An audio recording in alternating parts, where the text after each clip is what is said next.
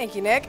As the healthcare field sees a worker shortage, hospitals are doing the best they can to help patients. Our David Pierce has more on what this looks like and how local colleges are filling in the gaps. I spoke with both Parkland and Lincoln Land Community College, and both say more students are answering the call. So they're making sure they produce more staff members who can provide the highest level of care. Parkland College says interest has grown over the years with certifications rising from 368 in the 2019 2020 school year to more than 428 last year.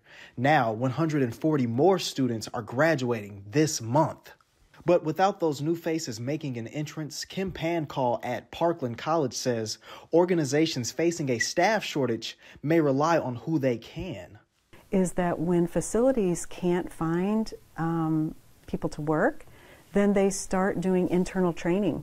Pancall says while that may be their best solution for the time being, it's important to have certified graduates ready to take a specific role. But our, our programs that we offer here are accredited programs that offer a certificate that, um, you know, that somebody has been licensed, they've gone through an intense program, which is always better for patient care.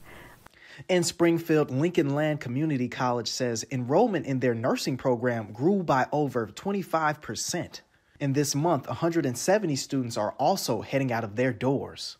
Dean Cynthia Maskey says methods and technology in healthcare are constantly evolving, so they're making sure students are prepared.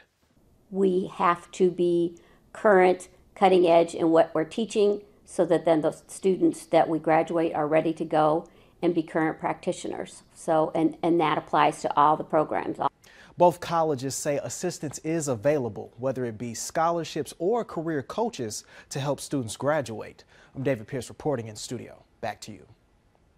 Thank you, David. Both colleges say students will likely have a job when they graduate. Parkland added that students could get sign-on bonuses of around $5,000.